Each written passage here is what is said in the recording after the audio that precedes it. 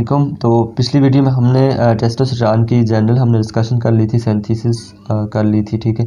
तो इस वीडियो में हम क्या फ़ंक्शंस देख लेते हैं कि टेस्टोस्टेरोन के फ़ंक्शंस क्या हैं, ठीक है? सबसे पहले इसका जो फ़ंक्शन होता है फीटल डेवलपमेंट से स्टार्ट हो जाता है। यानी टेस्टोस्टेरोन प्रोडक्शन फीटल डेवलपमेंट से स्टार्ट होती है। मैंने बोला था कि चाइल्डहुड में स्टॉप एंड बाद में प्यूबर्टी पे फिर स्टार्ट हो जाती है, ठीक है? तो सबसे पहले हमारे पास क्या होता है कि फ़ीमेल में क्या है कि जो अभी फीटस है फीमेल है या मेल उसमें क्या होता है, एक जेनिटल रिज होती है, ठीक है? जेनिटल रिज होती है यानी कुछ सेल्स होते हैं जिन्होंने टेस्टोस्टेरोन प्रोडक्शन करवा सकते हैं, ठीक है? टेस्टोस्टेरोन या एस्ट्रोजन प्रोडक्शन करवा सकते हैं। अब हमारे पास अगर मेल है तो मेल में क्या होता है कि मेल की जो क्रोमोसोम होता है ना, जो जीनोटाइप होगा तो उसमें एक एस आर वाई जीन होगा, ठीक है, मेल में। एस आर वाई जीन क्या करेगा? एस आर वाई प्रोटीन करेगा S R Y protein production करेगा, और एस आर वाई प्रोटीन क्या करती है कि वो आके, यानी उस फीटस में जेनिटल रिच पे एक्ट करती है। कि जेनिटल रिच पे एक्ट करेगी तो क्या बोलेगी कि टेस्टोस्टेरोन प्रोडक्शन करवाए, ठीक है? टेस्टो सिट्रॉन प्रोडक्शन और टेस्टोस्टेरोन क्या करेगा? बाकी टेस्टिस की डेवलपमेंट करवाएगा और टेस्टिस फिर टेस्टोस्टेरोन प्रोडक्शन करेगा। और बाकी आर्गन्स वो वाला टेस्टोस्टेरोन यानी जो टेस्टिस आएगा वो प्रोड्यूस करेगा, ठीक है? अगर हम देख लेते हैं, अगर हमारे पास फीमेल है, यानी जो फीटस है, उसका जो जीनोटाइप है, वो फीमेल है। तो फीमेल का क्या मतलब है? उसका जो क्रोमोसोम होगा, वो एक्स होगा और एक्स क्रोमोसोम पर एस आर वाई जी नहीं होगा। यानी no S R Y gene so जो फीमेल में प्रोटीन प्रोड्यूस होगी तो वो जेनिटल रिच पे एक्ट करेगी और क्या कहेगी, क्या प्रोड्यूस करे एस्ट्रोजन प्रोड्यूस करे ठीक है? एस्ट्रोजन और एस्ट्रोजन बाकी क्या करेगा? यानी टेस्टोस्टेरोन अगर नहीं होगा तो एस्ट्रोजन होगा तो बाकी क्या होगा? फीमेल के यानी फीमेल के ऑर्गन्स प्रोड्यूस होंगे क्लाइटोरस प्रोड्यूस होगा फीमेल का जेनिटेलिया प्रोड्यूस होगा और वो चीज़ें प्रोड्यूस होंगी, ठीक है? तो अब क्या है कि, यानी कि जो टेस्टोस्टेरोन प्रोड्यूस हुआ है मेल में तो वो क्या करेगा? वो नॉर्मली किसकी प्रोडक्शन करवा, किसकी प्रोडक्शन करवाएगा? यानी पीनस की प्रोडक्शन करवाएगा। इसी तरह स्क्रोटम की प्रोडक्शन करवाएगा, यानी डेवलपमेंट करवाएगा। प्लस हमारे पास क्या है? प्रोस्टेट सेमिनल वेजिकल और इन चीज़ों की प्रोडक्शन करवाएगा, ठीक है? अगर एक चीज़ गाइटन में लिखी हुई है कि, यानी कि अगर टेस्टोस्टेरोन हम फीमेल को उस वक्त दे दें, यानी कि सपोज़ एक फ़ीमेल एक फीटस है, जिसका यानी जीनोटाइप फ़ीमेल है, ठीक है? उसके जेनिटल रिच पर उस वक्त हम अगर टेस्टोस्टेरोन के इंजेक्शन दे दें तो हमारे पास फीमेल प्रोटीन होने के बावजूद वो टेस्टोस्टेरोन इस पर एक्ट करेगा टेस्टो यानी फीमेल जो मेल के हार्मोन्स होंगे मेल के हार्मोन्स इस पर एक्ट करेंगे और इससे क्या कहेंगे टेस्टोस्टेरोन प्रोडक्शन कराएँगे। आल्दो कि वो, यानी कि फ़ीमेल का जीनोटाइप है। और टेस्टोस्टेरोन प्रोडक्शन करवा के वो आगे, यानी कि जीनोटाइप फीमेल होने के बावजूद वो मेल आर्गन्स की डेवलपमेंट करवाएँगे। ठीक है? ये हो सकता है। अगर दूसरी तरफ़ अगर हम देखें तो अगर उस टाइम मेल के टेस्टिस को हम रिमूव कर दें, यानी जो फीटस है, उसके टेस्टिस रिमूव कर दें तो जो टेस्टिस है, उसने टेस्टोस्टेरोन प्रोडक्शन करनी थी और टेस्टोस्टेरोन ने बाकी, यानी डोमिनेट हो के तो टेस्टोस्टेरोन ने बाकी ऑर्गन्स को डेवलप करना था। लेकिन अब अगर टेस्टिस को रिमूव कर दें तो टेस्टोस्टेरोन नहीं होगा। टेस्टोस्टेरोन नहीं होगा तो जो चीज़ डोमिनेट आ जाएगी, वो हमारे पास जेनिटल रेज में, यानी कि फ़ीमेल ऑर्गन्स की प्रोडक्शन होगी। आल कि वो जेनेटिकली क्या है कि मेल है, लेकिन अगर टेस्ट टेस्टिस हमने रिमूव कर दिए हैं तो मेल ना होगा, यानी कि टेस्टोस्टेरोन नहीं होगा तो जो चीज़ उसने मास की होती है फीमेल यानी जेनिटल रिस्क से दोनों चीज़ें डेवलप हो सकती हैं फीटस की, उस, ये डिपेंड नहीं करता कि मेल या फीमेल वो यानी कि हार्मोन, यानी क्रोमोसोम पे डिपेंड करता है कि वो मेल क्रोमोसोम है या फीमेल क्रोमोसोम है। तो ये चीज़ है कि अगर टेस्टिस को हम रिमूव कर दें तो फीमेल करेक्टरिस्टिक्स डेवलप हो सकती हैं, ठीक है? ये हमारे पास था, इसका रोल था टेस्टोस्टेरोन का रोल था, यानी कि फीटस में, ठीक है? उसके बाद फीटस में ही दूसरा रोल हमारे पास क्या है कि डिसेंट ऑफ़ द टेस्टिस है, ठीक है? यानी डिसेंट ऑफ़ द टेस्टिस का क्या मतलब है कि जो आप अगर देखें तो स्क्रोटम जो होता है वो आउटसाइड द बॉडी लाई करता है, यानी जो एब्डोमिनल वाल है उससे आउटसाइड लाई करता है। इस स्क्रोटम में टेस्टिस बाहर बाद में आते हैं, यानी टेस्टिस डेवलप, जो फीटस होता है टेस्टिस डेवलप कहाँ होते हैं? पोस्टीरियर एब्डोमिनल वाल के साथ डेवलप होते हैं, ठीक है? यानी किडनी से थोड़ा सा नीचे डेवलप होते हैं। लेकिन बाद में क्या होता है? के जो लास्ट गेस्टेशन के जो last two to three months होते हैं, उनमें टेस्टिस ने डिसेंट होना होता है। डिसेंट का मतलब है कि वो इंग्वाइनल किनाल से होकर नीचे स्क्रोटम में आ जाएँगे, ठीक है? टेस्टिस अपनी जगह पे पहुँच जाएँगे। तो इस, यानी कि इसमें भी किसका रोल है? टेस्टोस्टेरोन का रोल है, ठीक है? क्योंकि जिन बेबीज़ के टेस्टिस क्या था कि टेस्टिस यानी कि उनकी बर्थ हो चुकी थी, लेकिन टेस्टिस डिसेंड नहीं हुए थे। तो बाद में उनको टेस्टोस्टेरोन के इंजेक्शन दिए गए तो उनका अगर इंग्वाइनल कनाल उनका ठीक था तो वो टेस्टिस इंग्वाइनल कनाल से होकर बाहर आ चुके थे, ठीक है? और जिनको टेस्टोस्टेरोन नहीं दिया गया था तो उनमें नहीं आए थे। तो इससे ये प्रूफ हुआ कि जो डिसेंट ऑफ़ द टेस्टिस है, उसके लिए भी टेस्टोस्टेरोन क्या है? मस्ट है, ठीक है? ये दो बातें हो गई। अब तीसरी बात यह है कि primary and secondary sexual characteristics के लिए क्या है टेस्टोस्टेरोन ज़रूरी है। अब हम थोड़ा सा देख लेते हैं प्राइमरी सेक्चुअल करेक्टरिस्टिक्स क्या हैं और सेकेंडरी सेक्चुअल करेक्टरिस्टिक्स क्या है, ठीक है? प्राइमरी सेक्चुअल करेक्टरिस्टिक्स क्या होती हैं कि अगर मेल है तो यानी कि पीनस होगा और फीमेल है तो फीमेल जेनिटेलिया होगा। इसी तरह क्लाइटोरस होगी फीमेल में और मेल में क्या होगा कि स्क्रोटम वगैरह हो गई फीमेल में लेबिया मेजोरा ये सारी जितनी भी डिफ्रेंशिएट करती हैं, यानी फीटल लाइफ में जो चीज़ें डेवलप हो जाती हैं तो उनको हम क्या कहते हैं प्राइमरी सेक्चुअल करेक्टरिस्टिक्स ठीक है? अगर हम सेकेंडरी सेक्चुअल करेक्टरिस्टिक्स देखें तो जिस तरह मेल में हमारे पास क्या है कि वाइस का बड़ा हो जाना, ये हमारे पास फीमेल से डिफ्रेंशिएट करती है। इसी तरह हमारे पास प्यूबिक हेयर का जो पैटर्न होता है और एक्सिलरी हेयर का जो पैटर्न होता है, ठीक है? और बॉडी का मस्कुलर हो जाना यानी ये सब कुछ कहाँ होता है कि प्यूबर्टी के बाद होता है। सो आफ्टर प्यूबर्टी जो भी करेक्टरिस्टिक्स आती हैं, उनको हम क्या कहते हैं?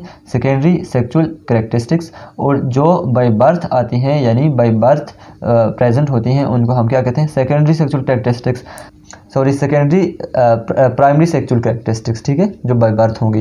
तो बाई बर्थ वाली तो हमने पढ़ लिया था कि जो पीनस यानी क्लाइटोरस फीमेल में क्लाइटोरस है स्क्रोटम है, जिनकी भी डेवलपमेंट हो रही होती है फीटस में तो उस वक्त भी इनके लिए रिस्पॉन्सिबल क्या होता है? टेस्टोस्टेरोन रिस्पॉन्सिबल होता है, ठीक है? तो सेकेंडरी सेक्चुअल कैरेक्टरिस्टिक्स ये कि प्यूबर्टी के वक्त। टेस्टोस्टेरोन प्यूबर्टी के वक्त क्या होता है कि हमारा pituitary gonadotrophin releasing hormone release करता है प्यूबर्टी के वक्त। वो आके luteinising hormone luteinising hormone Leydig cells और लेटिक सेल्स क्या करता है टेस्टोस्टेरोन प्रोडक्शन करता है और टेस्टोस्टेरोन हमारी बॉडी की पूरी, यानी बॉडी को इस तरह बनाता है कि वो फीमेल से बिल्कुल ही डिफ्रेंशिएट हो जाए। लाइक यानी कि उस जो मेल होता है, उसके जो मसल्स होते हैं मसल्स को डेवलप करवाता है। इसके अलावा सेकेंडरी सेक्चुअल कैरेक्टरिस्टिक्स में ये भी आता है कि जो हमारे पास मेल होता है, वो प्यूबर्टी की स्टेज में चला जाता है, ठीक है? फीमेल भी प्यूबर्टी की स्टेज में चली जाती है अलग अलग से, ठीक है? मेल में, यानी कि यानी कि जो मेल करेक्टरिस्टिक्स होंगी, उनमें रेड रेड ब्लड सेल ज़्यादा होंगे मेल के मसल्स मज़बूत होंगे, ठीक है? ये सारी करेक्टरिस्टिक्स क्या आएँगी प्यूबर्टी के वक्त आएँगी, और किसकी वजह से आती हैं? टेस्टोस्टेरोन की प्रोडक्शन की वजह से आती हैं, ठीक है? तो ये हो गया। उसके बाद हम देखते हैं कि प्यूबिक हेयर यानी बॉडी हेयर डिस्ट्रीब्यूशन ठीक है?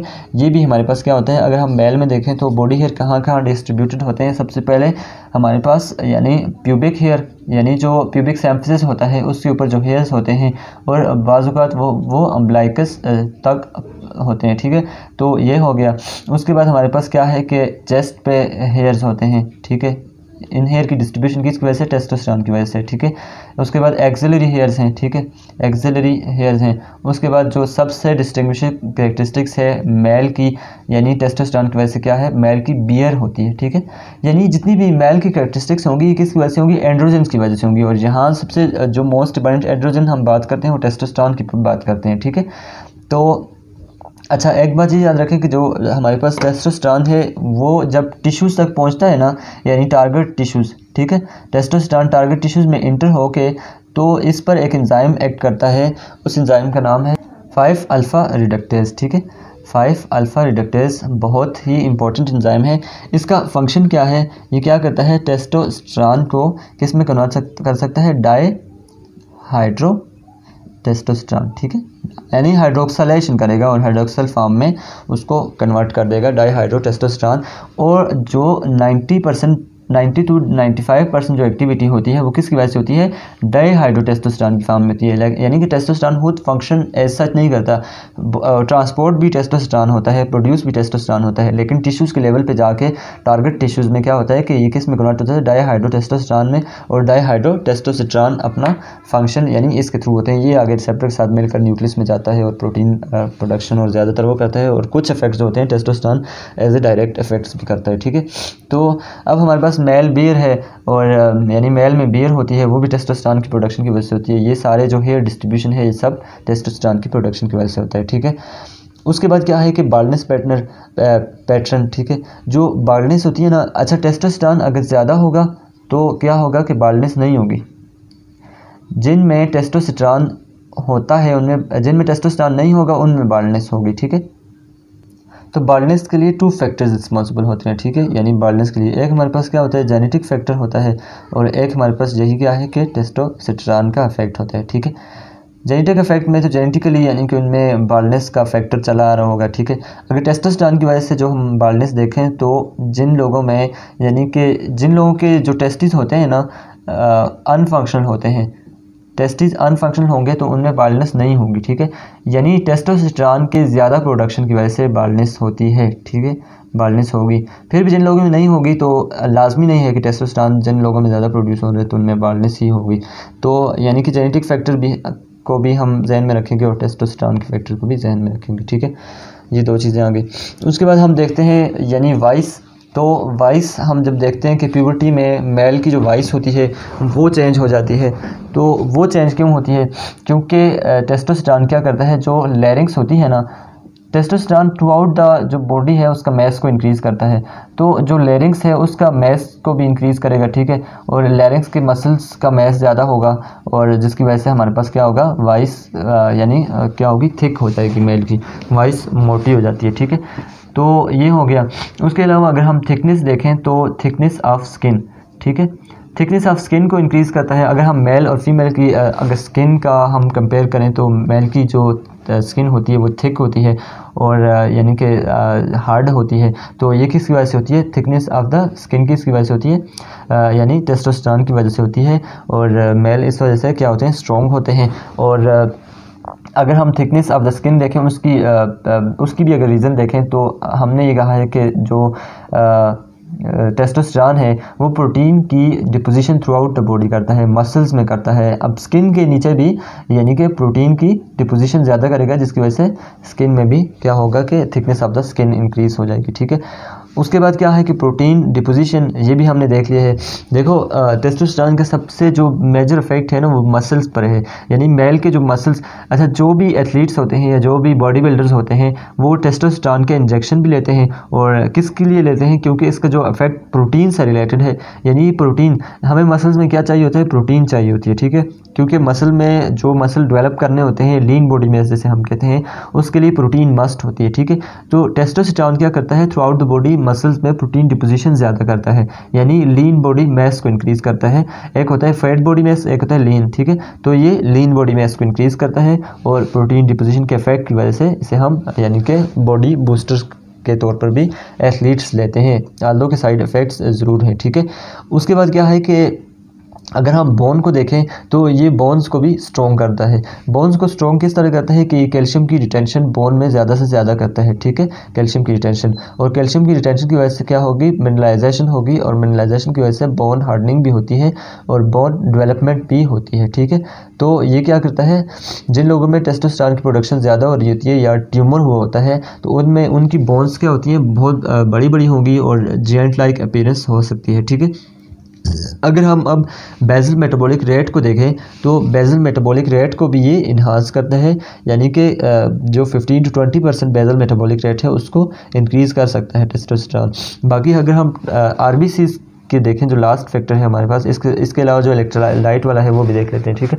आर नॉर्मली भी हम ये देखते हैं कि मेल में आर क्या होता है? सेवन लैक अबाउट ज़्यादा होते हैं, यानी फीमेल से नॉर्मली भी ज़्यादा होते हैं। तो वो किसकी वजह से होते हैं? टेस्टोस्टेरोन की वजह से होते हैं। यानी इससे ये प्रूफ होता है कि टेस्टोस्टेरोन क्या करता है? आर की प्रोडक्शन ज़्यादा करता है। और ये आर की प्रोडक्शन ज़्यादा करना अभी तक कोई क्लियर कट मेकानिज़म नहीं आया।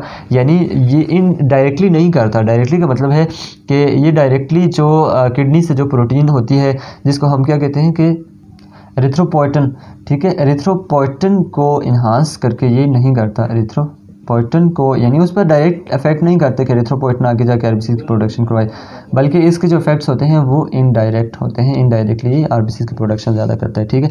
एट द एंड लास्ट हमारा जो फ़ंक्शन है वो क्या है कि लास्ट में क्या करता है कि जो जिस तरह से हमारे पास जितनी मिनरल कैटेगरी या स्टाइड हार्मोन है, उनका थोड़ा बहुत रोल जो होता है वो इलेक्ट्रोलाइट बैलेंस में होता ही है। जिस तरह हमारे पास जो मेन मिनरल कैटेगरी है एल्डोसिट्रान है, जो कैल्शियम की रिटेंशन करवाता है, ठीक है? इस तरह का कार्टिकोसिट्राइड जो होते हैं, वो भी थोड़ी बहुत कराते हैं। तो ये हमारे पास जो टेस्टोस्ट्रान है, ये भी किडनी से, यानी सोडियम की रिटेंशन थोड़ी बहुत करवाता है, ठीक है? तो ये भी उसका रोल है, यानी कि इलेक्ट्रोलाइट बैलेंस में भी एक रोल आता है। तो ये थे हमारे पास क्या था कि फैक्ट्स थे टेस्टोस्टेरॉन की। तो thank you so much for watching this